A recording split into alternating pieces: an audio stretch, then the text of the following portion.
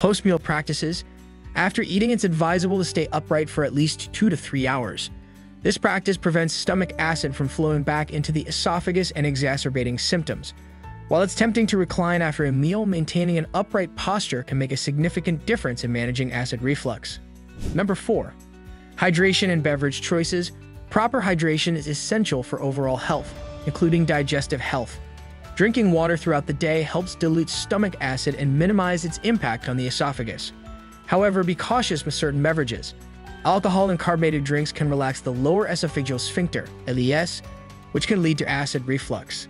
Limiting or avoiding these beverages can help manage your symptoms.